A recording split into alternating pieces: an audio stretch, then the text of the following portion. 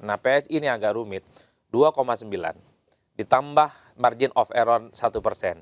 Anggaplah margin of errornya satu persen itu semua ke PSI, maka PSI dapat 3,7 sampai 3,8 persen. Ironisnya begini, apa pun yang terjadi dengan PSI, kita akan jadi bulan-bulanan media dan para pengamat. Kalau PSI menang, kita dianggap ya iyalah, lo ada tangan besar, kekuasaan yang mengatur. Padahal ya. Kalau PSI lolos ke parlemen, harus ada yang diaudit. Hmm. Siapa yang diaudit? Entah quick count-nya atau KPU-nya.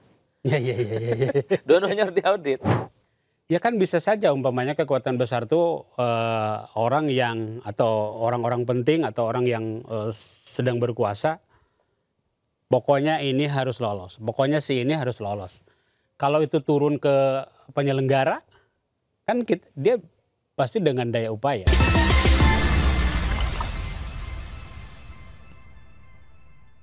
Assalamualaikum warahmatullahi wabarakatuh. Selamat datang di podcast Cawe Cawe. Margi Sari kembali hadir menjadi host Anda dan di episode kali ini kita akan ngobrol-ngobrol bersama narasumber yang asik-asik, yang asoy-asoy terkait dengan tema-tema yang aktual. Apalagi kalau bukan masih terkait dengan pemilu 2024. Kita langsung saja nih ke narasumber yang asik-asik sudah hadir bersama kita di podcast Cawe-Cawe. Ladies first, ada politisi dari Partai Solidaritas Indonesia PSI, Seril Tanje. Ya, halo, aku Cheryl, halo semua. Sis Seril ya. Sehat ya? Cheryl, Cheryl, iya iya. Sehat ya? sehat. Oke. PSI sehat? Sehat banget dong. Uh. Kita lagi bergembira nih dengan perolehan suara di DPRD kita yang melonjak gila-gilaan. Iya. DPRD ya? Iya, DPRD tingkat 1 dan 2 ya. DPRI? DPR RI-nya kita juga eh, tentunya optimis. Ini kan memang masih ada 40% data sekitar 70 juta suara yang belum terekap dalam Oke. sirekap. Jadi masih ada kemungkinan lah. Masih ada Itu baliho yang dipasang banyak banget itu sama foto Pak Jokowi ngefek nggak sih? Ngefek dong. Oh ngefek ya? Ngefek banget. Karena kan tingkat iya, iya. kedisukaan terhadap Presiden Jokowi masih 80% ya. Oke siap. Dan- Sampai di situ dulu. Iya. Sis Cheryl. Oke. Di sebelahnya sudah ada politisi dari Partai Persatuan Pembangunan atau P3 ada Abang Da Abdullah Mansur. Assalamualaikum. Waalaikumsalam warahmatullahi wabarakatuh. Sehat ya Abang Da? Alhamdulillah, alhamdulillah sehat. P3 kayaknya di tepi jurang nih. Eh, kita sih apa namanya ngelihat eh, istilah di tepi jurang itu kalau itu kan istilahnya kita nyaris menang, Hmm. tapi kita itu nyaris kalah. Beda tipis kan? Iya Itu. Jadi Iya, kita iya. tetap optimis.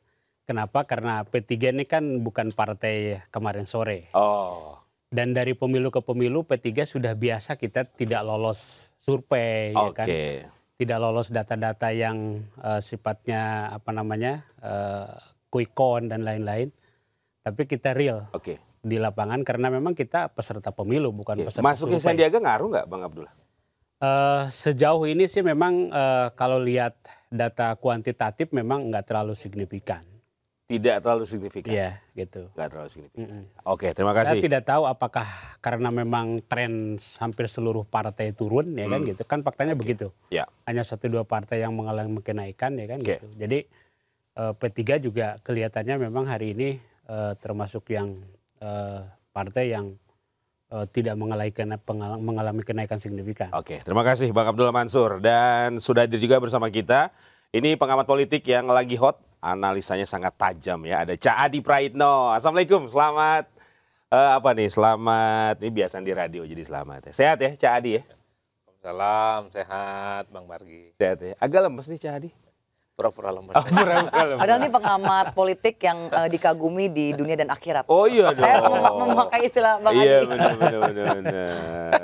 Politik kita semakin hari semakin sehat gini menurut Ca Adi. Semakin sehat. Semakin sehat. Karena banyak yang, yang optimis. Mak- oh, iya. Sekalipun diprediksi nggak lolos parlemen, optimis terus. Iya, iya, iya, iya, Contohnya? Yakin usaha sampai. Iya iya iya iya iya iya. ya, Contohnya? Contohnya, Cak? PSI, P3 ya, Oh. ya, diprediksi nggak lolos Iya. dan seterusnya dan seterusnya. Tapi ya kita tunggulah oke. hasil real count KPU. Emang kalau nggak lolos boleh optimis boleh optimis lolos? harus ya? optimis. Oh. Jangan keburu lempar hamduk. Iya, iya, iya. Pertandingan masih panjang. Usaha terus ya? Usaha terus. Oke. Usaha apa operasi? Usaha. Usaha. Operasi kan bagian Nanti kalau usaha. operasi dilaporin. Iya iya. iya. Tapi analisa Cadi nih, kira-kira berapa partai yang lolos ke Senayan? Saya menduga masih tetap 9 ya, seperti 2019 yang lalu. Hmm. Kemarin memang diprediksi P3 itu kan tidak lolos versi quick count karena publik agak kurang membaca, quick count itu kan biasanya ada margin of error satu persen. P3 itu kan dapat 2,9 sekian persen. Kalau itu ditambah quick count yang satu persen ya saya kira sampai 4 persen lah kira-kira begitu. Yang agak rumit memang menjelaskan soal perolehan PSI. Sorry, P3 itu bukan 2,9 tapi dia 3,9. 3,5. 3,5. Artinya apa? Ditambah satu persen, P3 itu bisa dapat 4,5 sekian ya. Nah PSI ini agak rumit. 2,9 ditambah margin of error satu persen. Anggaplah margin of errornya satu persen itu semua ke PSI, maka PSI dapat 3,7 sampai 3,8 persen. Itu realnya, anggaplah begitu. Ya tinggal hitung nanti. Jadi apakah- 3,6 tuh basis quick count ya. Iya. Kalau yang P3, kalau Iya. yang PSI kan 2,7, 2,8. Itu basis quick count. Maksudnya yang yang real itu apa? Emang ada suara siluman? Yang saya sebut uh, real count nanti di KPU hasil resminya, Bang. Oh. Tapi biasanya kalau quick count itu kan dibaca margin of errornya. Hmm. Kenapa? Karena memang quick count itu akurasi datanya selama ini cocok dengan hasil real count yang dilakukan oleh KPU. Karena margin of error mereka kan cuma satu persen. Kenapa quick count itu dianggap suatu hal yang realistis dalam ukuran matematika dalam pemilu? Karena yang dihitung itu adalah hasil perolehan suara, bukan lagi persepsi dan pendapat orang. Survei boleh melenceng, survei boleh agak sedikit melesat karena yang ditafsirkan itu bagaimana pendapat orang yang saya kira dia bisa berubah kapan saja. Jadi berarti eh, partai non parlemen yang kemarin di 2019, 2024 nggak akan berubah komposisinya. Bagi saya agak sulit kalau basisnya quick count ya.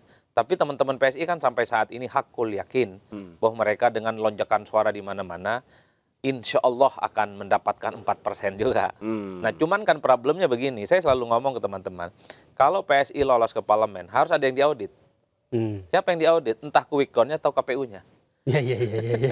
Dua-duanya harus diaudit.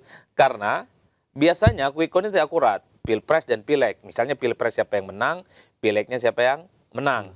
Termasuk siapa partai politik yang nggak lolos.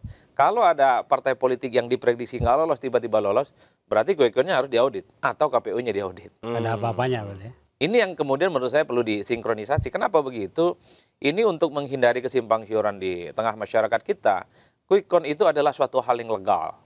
Dia bagian dari partisipasi politik rakyat. Biasanya quick count yang dipublikasi itu dia daftar ke KPU. Semuanya dilaporkan, metodologi, soal pendanaan, tentang margin of error, akurasi datanya, dan seterusnya. Oleh karena itu, kalau ada pihak yang mengatakan bahwa dirugikan dengan hasil quick count, misalnya PSI, quick count nggak benar tuh, bisa laporkan ke KPU. Bahwa quick count yang dianggap nggak benar nanti bisa diadili oleh KPU. Oke. KPU menghadirkan ahli, menghadirkan ahli-ahli statistik, kode etik, dan seterusnya dikumpulkan, nanti diadu. Yang benar ini sebenarnya siapa? Oke. quick count kah atau PSI kah atau KPU kah semuanya bisa diaudit secara terbuka. Si apa si Mungkin saya ya, Cheryl, eh, apa sih yang membuat PSI optimis sebelum ke sana? Apa yang membuat optimis? Eh, PSI? sekarang gini di atas, kertas DPRD kita mengalami pelonjakan luar biasa. Kita eh, incumbent sekarang kan 70-an kursi ya. Tapi per hari ini kalau kita hitung-hitungan aja yang udah jadi itu kursi DPRD tingkat 1 dan 2 itu sudah ada 400-an kursi. Dan lalu kalau eh, saya menghargai sekali dengan keilmuan Mas Adi tentunya ya. Eh, beliau kan juga punya lembaga survei ya Mas Adi ya. Tapi eh, setahu saya lembaga survei itu ada yang punya margin of error 1 sampai satu setengah persen terkait quick count. Jadi ini juga dilihat dulu lembaga survei yang mana. Kalau kami memang kami karena bermain di angka kecil, jadi margin of error itu sangat penting untuk kami. Makanya sekarang ini kita menyisir eh, berbagai kecamatan kan masih ada beberapa yang sudah selesai, ada juga yang belum di PPK. Iya.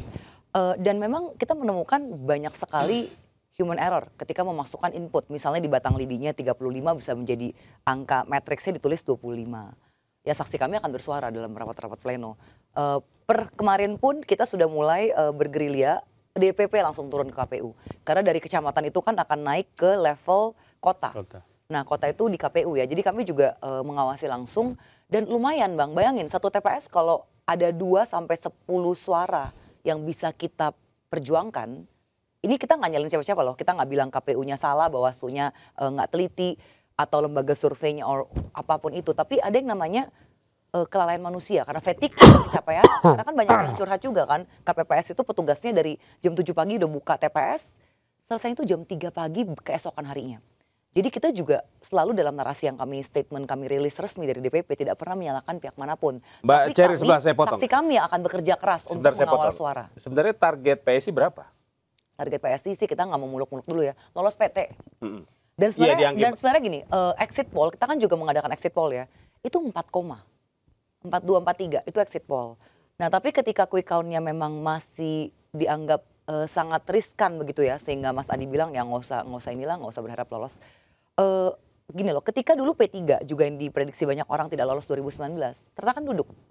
Nah, sekarang PSI yang kami lakukan, kami hanya bisa memperkuat saksi, menyisir semua kertas suara.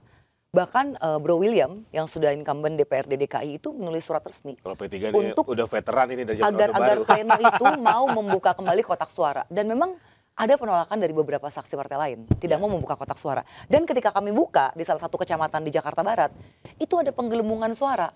Nah kami itu pun kami tidak mau fokus ke situ tapi kami fokus menjaga suara kami saja. Berarti- bayangkan ya penggelembungan suara gini modusnya. Misalnya di absensi itu yang datang 170 orang. Tapi yang dicoblos 200-an Berarti PSI merasakan kecurangan juga dong. kita nggak mau bilang kecurangan lah, kita bilangnya human error aja. Misalnya eh, batang lidinya berapa, di ujungnya jadi berapa, atau misalnya gini nih, batang lidi dan kolom kanan yang angka sudah sesuai, nanti di penjumlahannya tiba-tiba di, Lebih kepada teknis. di- lebih sedikit lagi. Hmm. Ya apa pun itulah, yang kami lakukan dari pihak kami aja yang menyisir dan fight di pleno.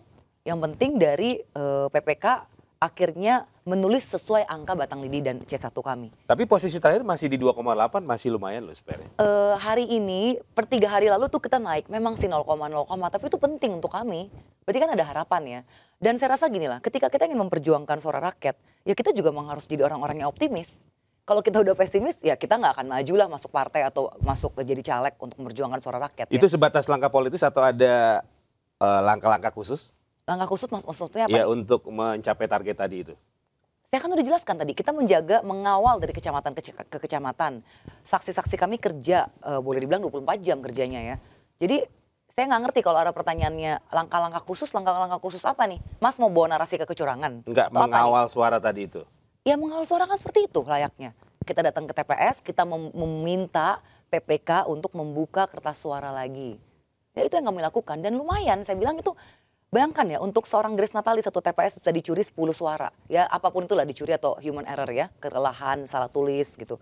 Tapi 10 suara satu TPS. TPS di, di dapil saya itu 12 ribu. Kalau taruh dia kita rata-rata 5 suara ya, yang hilang karena kelalaian, bukan kecurangan ya. 5 suara dikali 12 ribu TPS saya udah berapa? Itu baru satu caleg. Dan kita ada, mungkin ada 7-8 caleg ya per dapil ya. Jadi kan lumayan signifikan suaranya. Mbak Sheryl tadi kalau Cak Adi bilang kalau sampai ha- apa eh, hitung-hitungan tadi harus nggak lolos tiba-tiba lolos itu harus diaudit ada masalah. Silakan audit. Kami akan sangat terbuka untuk audit. Karena di DKI pun eh, DPRD kami itu yang paling teliti untuk audit. Jadi silakan. Kami sih akan selalu transparan dan sesuai undang-undang. Oke. Jadi sampai hari ini masih pede lolos ke Senayan. Ya harus optimis. Kita bukan masalah pede, ini optimis harus kan. Ya nggak bang? Yakin ya akan lolos ya. Harus yakin dong. Harus yakin Kalau nggak ya. saya nggak duduk di sini. Iya, iya. Mungkin saya diundang tapi nggak mau. Iya, Kayak partai iya. lain yang diundang tapi nggak Iya, mau iya. datang Oke, kan. Bang Abdullah, P3 gimana? Kalau P3 sih eh, tadi saya menggarisbawahi kata optimis itu. Kenapa? Karena eh, ngelihat data di internal kita ya kan gitu. Dari awal juga memang eh, kita melampaui angka PT ya kan gitu. Dan saksi-saksi juga infrastruktur partai dari mulai eh, TPS kemudian di kecamatan sampai sekarang kita memang sedang fokus untuk mengawal itu ya kan gitu.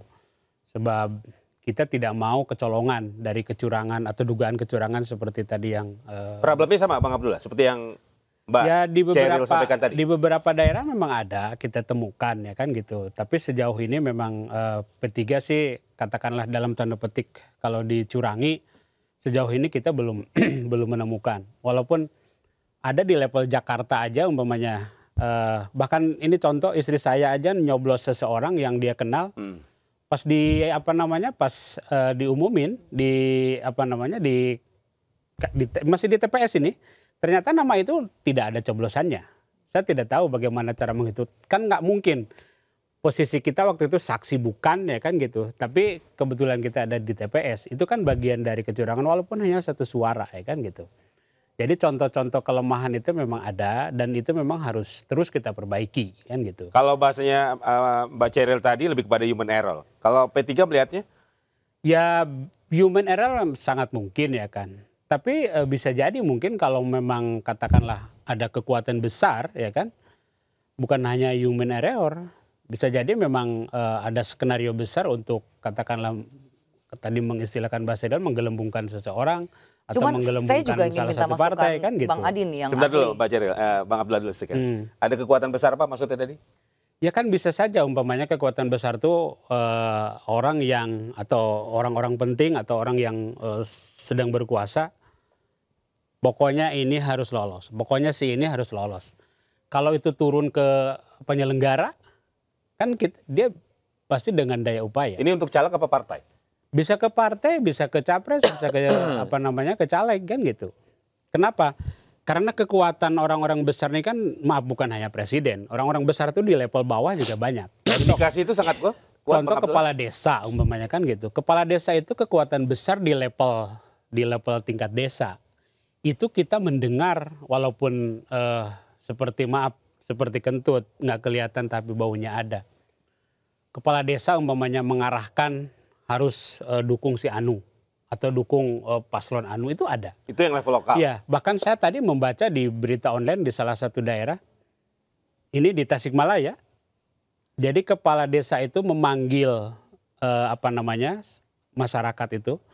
Ini ada bantuan. Dan ini bantuannya dari Pak Anu.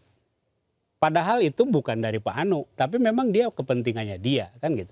Nah, kekua penguasa di level desa itu kemudian dengan cara begitu menakut-nakuti masyarakat umpamanya kan gitu akhirnya kan masyarakat itu juga ikut ancamannya kalau you tidak coblos si anu ini data ini akan kamu hapus kamu tidak akan dapat Jadi Bang Abdullah ingin mengatakan campur tangan kekuasaan eh, sangat terasa. ada Ada ada, ya? walaupun maaf seperti kentut itu tadi ya kan gitu Dan itu tidak bisa di eh, apa diantisipasi atau dilawan? Bisa bisa dilawan. Umpamanya apa? Ngelawannya memang kita ada piranti hukum ya. Ada piranti hukum umpamanya ada bawaslu. Ya kan? Kalau ada kecurangan laporkan ke bawaslu. Tapi maaf bawaslu itu dalam pandangan saya terkadang terhadap satu kasus terlalu eh, rigid. Umpamanya dia menilai eh, unsur kampanyenya. Umpamanya kan gitu. Apakah ada penyampaian visi misinya apakah mana buktinya kemudian Bawaslu itu memang karena dia mencoba sesuai dengan undang-undangnya. Jadi kalau unsur-unsurnya tidak ada, satu aja unsur tidak ada, Bawaslu tidak berani mengatakan bahwa ini memang harus diproses, kan gitu. Nah itu itu salah satu problem yang ada di eh, Bawaslu dalam kerangka penegakan eh, hukum terhadap permasalahan yang terjadi di lapangan. Oke, baik. Cadi, tangan-tangan kotor kekuasaan. Menurut Cadi. Ya kan sebenarnya dugaan-dugaan itu kan sering disampaikan oleh semua paslon Betul. bahkan satu, dua dan tiga. Kalau paslon satu itu kan sama tiga kompak imannya bahwa pemilu 2024 ini penuh dengan kecurangan, intimidasi, Brutal. mobilisasi aparatus-aparatus kekuasaan. Tapi itu betul bang. Betulnya apa? Ini diomongkan, mungkin faktual, tapi untuk dibuktikan sebagai sebuah pelanggaran itu tidak pernah ada. Bahkan per hari ini Bawaslu selalu mengatakan belum ada pelanggaran yang disebut dengan TSM. Terstruktur, sistematis, dan masif. Saya sih selalu menganalogikan dengan hantu. Kita nggak pernah percaya dengan hantu. Tapi Ada. pada saat yang bersamaan kita meyakini hantu itu ada. Ya itulah kecurangan yang kemudian terjadi dalam Ini lemahnya pemilu. sistem atau canggihnya hantu tadi itu? Sama, satu dari segi regulasi, yang kedua canggihnya hantu, yang ketiga pembuktiannya yang susah. Dari segi regulasi misalnya soal politik uang, tak ada undang-undang khusus yang mengatakan apa itu definisi tentang politik uang atau money politik. Memberikan uang dan barang untuk mempengaruhi pemilih itu politik uang, bang. Bahasa undang-undang pemilu. Kalau ngasih uang dan barang, niatnya masuk surga itu bukan politik uang. Jadi ngasih apa aja, hei rakyat, kawan-kawan, ini ada uang dan barang. Ini bukan kampanye, tidak menyampaikan visi misi. Saya memberikan ini lillahi ta'ala ingin masuk surga. Mau apa Bawaslu? Bawaslu tidak akan mendelik itu sebagai sebuah pelanggaran. Karena diniatkan untuk masuk surga. Yang dianggap sebagai politik uang itu kalau dia mengajak memilih calon, yang ngasih uang dan barang, kemudian dia berkampanye, mengidentifikasi dirinya dengan calon tertentu, dan menyampaikan visi misi. Bawaslu nggak nemu itu. Padahal praktik di lapangan nyata. Ada kasih sembako, kerudung, keramik, sajadah, Oke. rebana. Dan itu hanya dilakukan lima tahun sekali. Hmm. Dan itu yang terjadi. Termasuk misalnya mobilisasi aparatus-aparatus kekuasaan yang disampaikan oleh Bang Abdul. Memang tak ada arahan-arahan khusus, tapi ketika dikumpulkan dalam event tertentu misalnya, kan pesannya nyata. Kalau di proses rekapitulasi, Cak Adi? Nah, rekap ini yang rumit. Hmm. Kalau kita sirekap ini kan bukan instrumen dia itu adalah hasil resmi dari KPU. Itu alat bantu. Ini alat bantu, ini ngerekam data-data yang masuk supaya rakyat bisa mendeteksi bagaimana hasil sementara Oke. perolehan suara pileg dan pilpres. Oleh karena itu yang paling utama nanti real count-nya yang berdasarkan C1 itu. Itu yang perlu dikawal. Artinya apa? Bagi orang yang selalu optimis berusaha bahwa pilegnya naik, presidennya mungkin akan menang gitu ya. Tidak percaya dengan serkap, nggak percaya pada quick count, nggak apa-apa kawal terus ini. Sampai tanggal 20 Maret nggak ada soal. Tapi yang ingin saya katakan adalah bahwa dugaan-dugaan kecurangan itu nyata dan faktual dan sering kita lihat di depan mata kita. Tapi ketika itu diminta buktinya sebagai sebuah pelanggaran susah. Dan yang kedua, yang mau melaporkan nggak ada bang. Per hari ini nggak ada orang yang mau mati demi demokrasi. Per hari ini nggak ada orang yang mau mati hanya ingin memperjuangkan pemilu berkualitas. Sekalipun ada kecurangan di depan mata, dia nggak berani melaporkan karena dia potensial dilaporkan balik, dianggap sebagai fitnah dan karakter assassination. Itu bahaya betul. Pasalnya berlipat ganda, masuk penjara, undang-undang ITE didenda dengan sejumlah uang. Iya. Mati pula ini. Mana ada orang mau mati demi demokrasi saat ini? Kalau mau mati demi agama ada. Iya. Banyak banyak. Syahid, Nah, ini yang Syahid. repot. Nah. Jadi Bang Abdul ini mestinya di situ kerjanya harus memperbanyak orang ya para syuhada-syuhada di TPS itu ya. Jadi kalau ada kecurangan laporkan gitu loh. Iya. Siap mati dan tegak lurus demi kebenaran dan demokrasi yang sehat. Cuma masalahnya nggak ada, ada. Berani video, berani foto, nggak berani dia laporkan. Ketika dilaporkan, batas waktu untuk melaporkan sudah lewat. Kan nggak boleh dari seminggu, dari kecurangan. Ya, Dia oke. akan nguap. Nah ini yang menurut saya, kecurangan ini terjadi pada semua level. Dari TPS, provinsi, kota, dan seterusnya. Tapi tak ada yang meninvestigasi yang menurut saya cara serius sampai tuntas. Bahkan 2019 yang lalu, di Malaysia itu luar biasa betul. Kalau menurut Cak Adi, ini paket pilpres sendiri, pileg sendiri, atau paket sama-sama? Kalau pilpres agak gampang lah cara mendeteksinya. Siapa yang curang, curangnya banyak dan curangnya sedikit, agak gampang. Yang rumit ini adalah pileg memang. Hmm. Ini kan pertarungannya jeruk makan jeruk, Mas. Iya. Ini antara sesama kawan, kecurangannya itu terjadi. Mbak Cheryl mungkin sama nomor paslon satu dan di bawahnya mungkin berkelahi itu dalam tanda kutip ya untuk memperebutkan satu ceruk pemilih yang sama dan ini yang jarang diungkap. Nah, yang kita diskusikan dari tadi ini kan kita bicara pileg. Bagaimana suara-suara pileg ya itu tidak dikriminalisasi, tidak dikebiri dan dia potensial untuk lolos ke parlemen baik P3 ataupun PSI kan itu yang sedang diusahakan. Kata Mbak Seril sekalipun hasil quick count per hari ini hanya sekitar 2,8 Real count mungkin ya. Ah, iya, Real count. ah, quick, quick count ya, quick count. Maksud saya itu bukan tidak mungkin karena suara PSI di mana-mana merasa dicurangi, kemudian salah input, error of human atau human error. Dan kan itu yang sedang gini, Bang Adi, diusahakan, Bang termasuk Adi. P3 gitu. kan. Karena kan kira-kira kan- begitu. Saya turun ke TPS-TPS ya dan tadi yang abang bilang tuh eh, istri abang aja nyoblos kok nggak ada. Nah jadi kami juga menduga, ini menduga ya. Sebenarnya sistem pemilu kita ini ada sesuatu yang perlu kita tingkatkan karena apa? Merusak kertas suara sangat gampang bang. Dan itu kan penggembosan suara, tapi kita nggak bisa buktikan. Lah kalau kertas suaranya dicoblos satu partai lain lagi aja itu udah nggak sah kan. Terus kita kalaupun bawa, kita apa buktinya? Bayangkan ya, kalau daftar hadir aja bisa bertambah yang kertas suaranya beda sama daftar hadir 20. Berarti kan memang ya saya sepakat sih dengan yang abang bilang. Ini memang ada lah di level-level ter- tertentu ada yang mencoba. Ini berarti penyelenggara pemilu? Ya apa pun itu kita nggak tahu. Karena gini, ketika kotak suara itu dibawa, itu ya kita nggak tahu ketika dia ditransitkan ke mana atau apa. Meskipun secara formal ya, itu akan dikawal oleh polisi dan TNI loh. Tapi terjadi itu. Lalu gini, eh, Bang Adi saya ingin eh, kita diskusi juga. Bang Adi kan dengan segala keilmuannya ya. Mungkin nggak kalau sebuah partai yang perolehan suara di DPRD tingkat 1 dan 2-nya melonjak gila-gilaan, tapi DPR RI-nya mandek. Ini kan saya nggak tahu secara keilmuan padahal di mana-mana biasanya caleg DPR RI itu lebih terkenal karena kalau misalnya kita yang menjadi caleg ya itu menjelang pemilu tuh orang itu semua tanya ke kita, eh DPRD tingkat 1 dan 2 pilih siapa? Karena nyaris nggak ada yang kenal.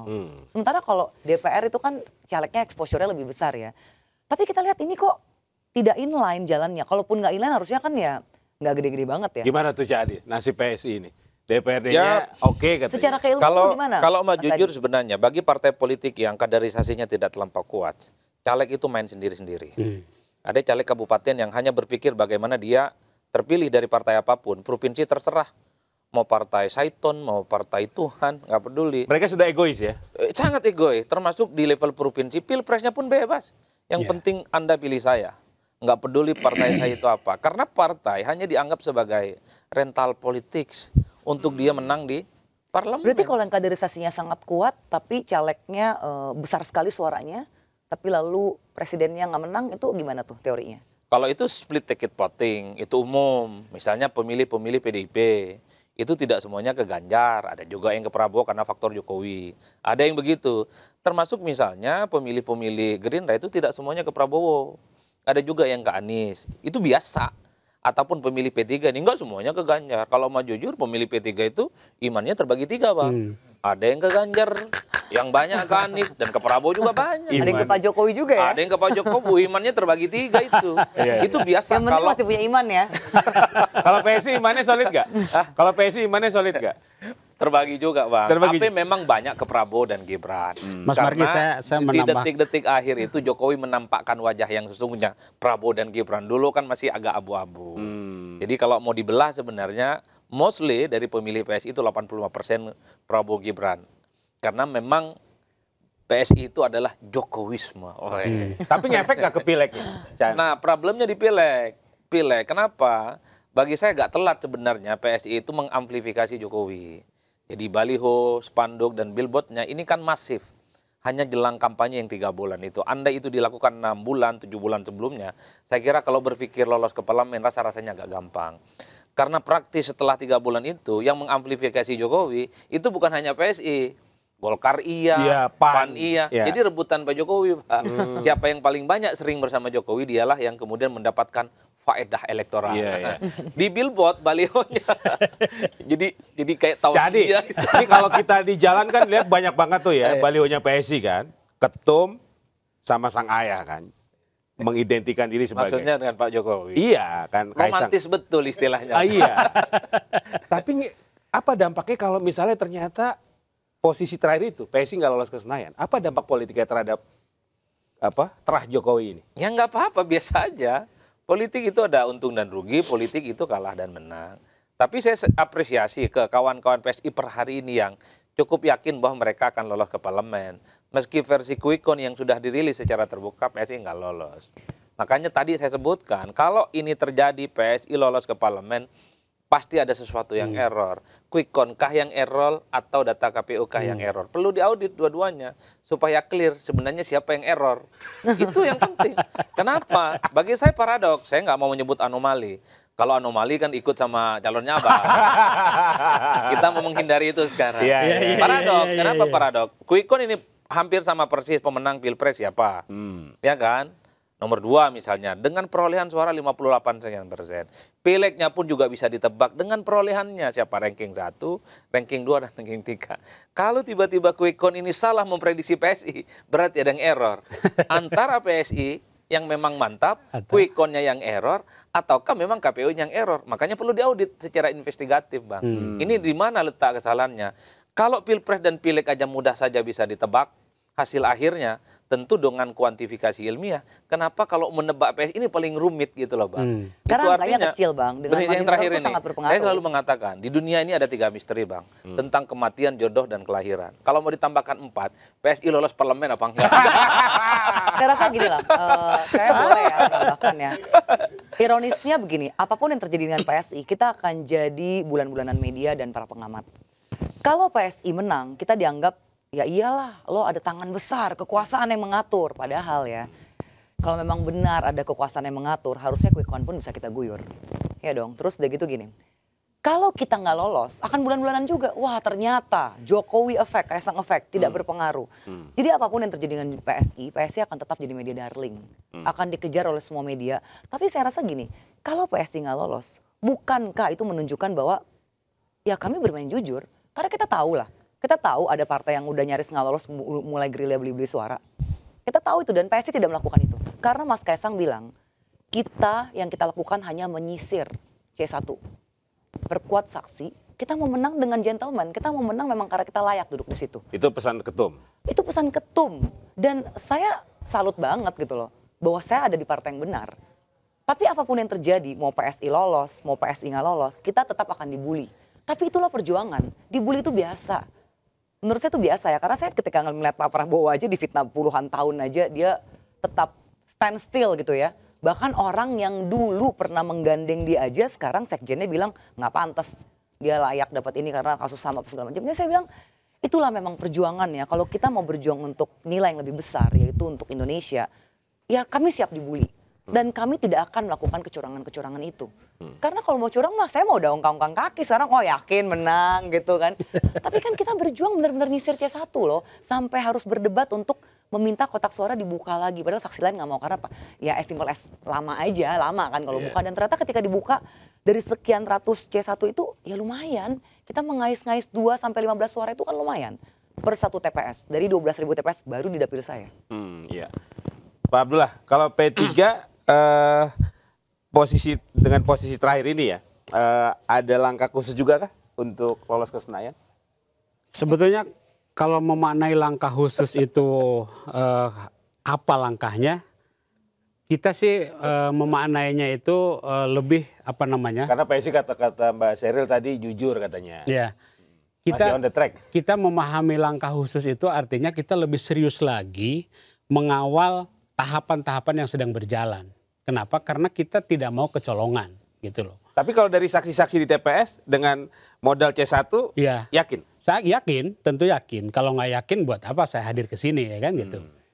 Kenapa yakin itu tadi karena ngelihat fakta-fakta di lapangan eh, tadi dari sisi teori juga eh, kita kita masukkan di margin error itu.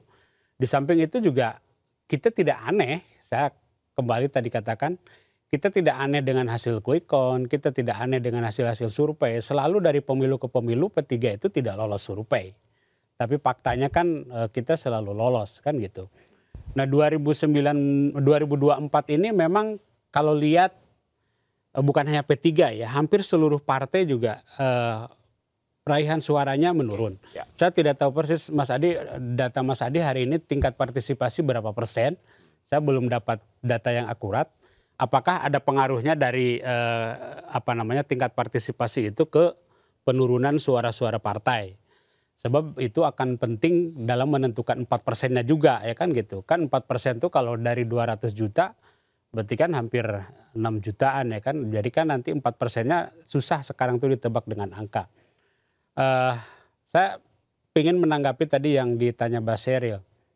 Disparitas antara eh, DPRD dengan DPR. DPR RI. Itu sebetulnya di P3 juga terjadi dan bukan hanya pemilu kali ini aja. Tapi peningkatan melonjak gila-gilaan 400 persen. Iya, walaupun melonjak di bawah, tapi saya setuju dengan Mas Adi tadi.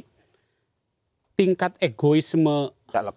caleg di bawah, maaf, saya orang Tasik, Hmm. ya kan orang Sunda. Jadi dalam bahasa Sunda itu ada istilah nu penting aing, Oh ya iya. kan? Jadi nu penting aing tuh yang penting gue, Iya. Presidennya terserah, DPR RI-nya terserah, provinsinya terserah. Nah itu karakteristik caleg yang seperti itu eh, ada di P3. Bahkan saya bisa katakan eh, banyak. Kenapa? Itu bisa jadi tadi bicara apa namanya kaderisasi ya kan gitu. Bisa jadi karena memang tingkat perkaderannya lemah. Mungkin juga dia bisa dia itu adalah caleg baru kan gitu. Sehingga kalau di P3 ada enam prinsip perjuangan belum memahami bagaimana visi misi partai sehingga akhirnya berpikirnya yang penting dia lolos. Dan itu dijawab dengan data statistik. Hari ini sih kalau 2024 belum selesai. Tapi kalau 2019 seperti di kota Tasikmalaya, suara DPRD-nya itu total 97 ribu dengan mendapatkan eh, 10 kursi, eh, 9 pemilu yang lalu itu. Tapi suara DPR RI-nya berapa? Cuma 37 ribu. Jadi kan ada ada gap hampir 50 ribu. Nah, ini tingkat kesadaran ini bukan hanya di PSI tapi di di P3 juga memang ada Jadi eh, Bang Abdullah ingin mengatakan ke Mbak Cheryl jangan terlalu kaget dengan Iya, kondisi iya. itu ya. Enggak, Jadi- di, di, prakteknya juga bang, misalnya caleg eh, partai politik tertentu, provinsinya dia bisa kawin dengan partai yang lain. Nah itu lebih parah lagi Kampanye. kan, Pilpresnya lebih parah lagi beda. kalau Yang begitu. penting dirinya itu mendapatkan faedah dan limpahan suara. Hmm. Saya dari misalnya nih kader partai ubur-ubur, ya Ah. kan. Saya bisa di provinsi dan kabupaten sama pusatnya itu beda partai dengan yang lain. Yang penting saya mendapatkan insentif dukungan politik ya meningkat secara signifikan dan lolos. Udah itu aja pikirannya. Iya. Kenapa ini terjadi? Karena ideologisasi di partai nggak ada. Nggak ada orang saat ini kader partai yang mau mati demi partai nggak ada, bang. Partai itu hanya dia rental mobil, alat untuk mendapatkan kekuasaan. Anggota dewan, udah selesai. Hmm, ya. Ini yang kemudian membuat kenapa begitu banyak partai dalam kampanye fotonya hanya sendiri, pak. Hmm. Caleg DPR RI Adi Pray atau caleg DPR RI Kota Depok Adi Pray. Provinsi kemudian DPR RI-nya termasuk presiden nggak dicantumin. Karena bagi mereka tiga tingkatan ini nggak nguntungin bagi dia. Ngapain kampanyein pilpres dia nggak pernah nyumbang kok ke saya. Ngapain kampanyekan yang anggota dewan tak pernah dia sumbang kita. Dia hanya berpikir untuk dirinya sendiri. Ini yang kemudian bisa menjelaskan kenapa caleg ya di, di dapil tertentu, level tertentu DPRD itu tidak inline dengan di pusat. Ya. Termasuk kenapa di DPR pusatnya besar, di daerahnya kecil. Itu hanya ada DPR RI berkampanye untuk dirinya, DPRD-nya ya bodoh amat ya. Mau lolos tak lolos, tak ada urusannya. Termasuk Pilpres. Caleg kemarin kalau mau jujur dia banyak berpikir tentang dirinya. Kalaupun toh yang jadi presiden itu Anies, Prabowo yang jadi Anies, jadi presiden maksud saya Ganjar jadi presiden. Kalau saya nggak kepilih jadi anggota dewan sama aja bohong ini itu. Iya. Hmm. Ini yang kemudian menjelaskan kenapa banyak partai pileknya naik secara signifikan, tapi pilpresnya kalah. Ada perolehan eh, calegnya itu kuat secara signifikan, tapi pilpresnya dia semblehoy. Semblehoy itu Apa ya? bahasa Betawi itu agak agak turun-turun Iya. gitu lah. Turun lah ya. Loyo, kira-kira begitu. Karena kalau mau jujur, pertarungan pileg dan pilpres ini kan yang pusing itu sebenarnya caleg. Berpikir hanya untuk dirinya. Makanya banyak yang mengatakan hanya caleg yang agak rada-rada gimana gitu. Kalau dia berpikir tentang dirinya, berpikir juga tentang caleg dan baik. pilpres. Baik, kembali ke pileg artinya komposisi Senayan tidak akan ada kejutan 2024 nanti. Ya yang struggle yang sebenarnya sekarang itu P3 dan PSI. Ini kan ramai betul diperbincangkan karena kalau kita membaca quick count ya, misalnya P3 ini kan 3,8. Bang. Itu artinya hanya butuh sekitar koma 0,0 sekian koma persen lah untuk lolos ya. Itu yang kemudian diprediksi lolos karena margin of errornya satu persen quick count itu. Kalau satu persen dikasih ke P3 semua, berarti P3 itu dapat sekitar 4,8 persen lolos. Nah, kalau rumus quick count ini dipakai ke PSI, yang hasil quick count itu adalah 2,8, anggaplah satu persen dikasih ke PSI, jadi 3,8 berarti ya PSI kurang sekitar 0,0 sekian untuk lolos. Ini yang sedang dipertaruhkan betul per hari ini, baik di kalangan ijtima ulama para count ini. lembaga usul survei dan yang lainnya. Tapi overall yang ingin saya katakan adalah yang sering diperbincangkan per hari ini. Kata Mbak Sheryl ini kan, "Oh, ini derlik. Memang ini soal misteri, PSI lolos dan enggaknya ke parlemen. Itu akan menjadi misteri dan pasti ada buntut panjangnya. Oh, quick count-nya salah nih. Hmm. Padahal quick count memprediksi pileg dan Jadi pilpres kata Mbak Sheryl, Satu sampai satu setengah persen loh bukan. margin error itu. Kalau kata kita Mbak Sheryl, melihat ya. PSI itu nggak melakukan langkah-langkah atau upaya-upaya di luar kepatutan lah. Ya memang hebat PSI dari dulu, mantap. Terima kasih Mas Adi. kita, kita tinggal Enggak, tunggu. Lolos maksudnya apa enggak nih? Bukan, maksudnya apakah akan eh, melakukan hal seperti itu gitu loh. Karena ketumnya anak presiden dan masih berkuasa pula. Apakah tidak akan menggunakan potensi-potensi itu? Ah, wallahu a'lam bishawab. Gelap gulita saya. Mas Margi, Undang-undang saya, undang-undang ITE belum direvisi. ya. Mas Margi saya saya eh, bantu sekaligus nanya ke Mas Adi selaku eh, apa namanya pengamat ya kan. ya. Pemilu 2024 itu dalam pandangan saya ada teori yang gugur Mas Adi. Teori kutil efek. Ya kan gitu. Teori ekor jas. Kalau 2000 setback saya 2009 2014 figur Pak SBY itu inline dengan Demokrat. 2000 dua, dua, maaf dua- 2004 2009 ya. 2014 2019 figur Pak Jokowi itu inline dengan eh, PDIP kan gitu. Jadi figur Pak Jokowi sebagai capres eh, PDIP naik. Jadi itu yang memanai kutil efek itu eh, di situ. Nah 2024 ini saya ngelihat maaf ya Mbak Seril, kampanyenya di mana-mana kan bukan kampanye ya billboardnya apa ya yang yang nyebut partainya Pak Jokowi itu PSI partainya Pak Jokowi bersama kan Jokowi. Eh, bukan bersama betul kan Pas PSI partainya Pak Kita ada Jokowi kan? beberapa versi soalnya saya ya nggak hafal ya semua. itu salah satunya yang Joko, sempat Jokowi partainya PSI. Yang tegak lurus ke Jokowi pilih PSI. nah banyak banyak sekali saya statement kan meneliti fans Iya, iya. juga. Nah, jadi jadi jadi maksud saya banyak sih soalnya ya. jadi Iya. maksud saya Ada dua kali kopdarnya Jokowisme. Nah dari Ngundang Mas istilah-istilah juga. ya dari Iya. dari dari Hafal saya, iya. itu hafal saya, dari istilah-istilah yang disampaikan eh, Mas Adi itu, kenapa tidak berbanding lurus dengan naik kenaikan suaranya PSI? Padahal PSI kita melihat betapa kuat mengkapitalisasi figur Pak Jokowi. Kemudian bicara capres katakanlah ya kan, bicara capres. Maaf, figur Mas Ganjar memang kan jelas-jelas eh, kader PDIP kan gitu, didukung secara resmi. Tapi faktanya hari ini PDIP juga turun suaranya kan dibanding dengan 2019. Kemudian eh, kalau figurnya Pak Prabowo katakanlah sebagai ke- ketua umum Gerindra menurut versi Quickon hari ini memimpin ya kan gitu. Tapi suara Gerindranya kan juga tidak signifikan naik. Nomor tiga, Pak. Iya kan?